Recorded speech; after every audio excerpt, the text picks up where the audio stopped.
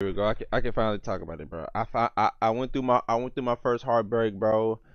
I my uh you know how they go. I ain't gonna say too much, but that means I passed step one of becoming a man. You gotta get that first heartbreak out the way.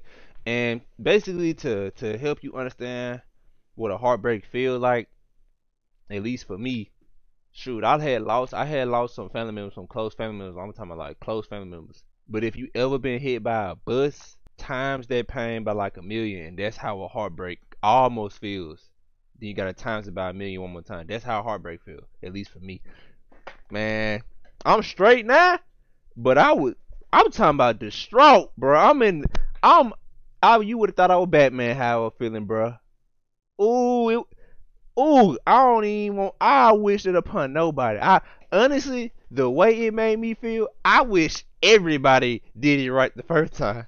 I wish nobody experienced heartbreak, bro. That's how bad it hurts. It is not a fun experience. It's overrated as fuck.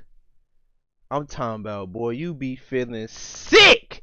But I think the it, I think it's the, the the getting out of the routine part. You know what I'm saying? It's the getting out of the routine part that that, that, that you know what I'm saying? Dang, boy, that just felt like yo other half just just just like you just like you just lost a twin or something. That's how that